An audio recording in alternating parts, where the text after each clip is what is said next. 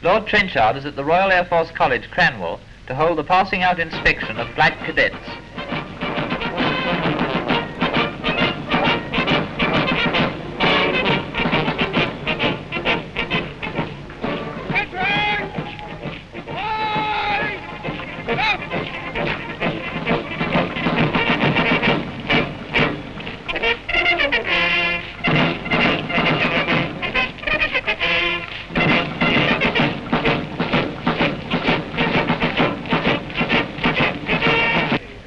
After the march past, the Air Marshal chats with the future pilots